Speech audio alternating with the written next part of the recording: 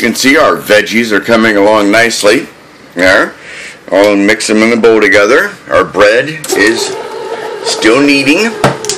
And here's a little trick that I got from a book that I got with this crock pot is put all the stew in the bottom of the crock pot.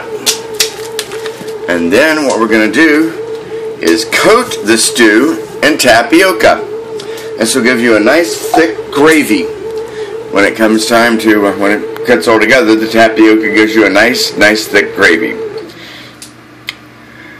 And that's step two, my dear readers, from the other shoe.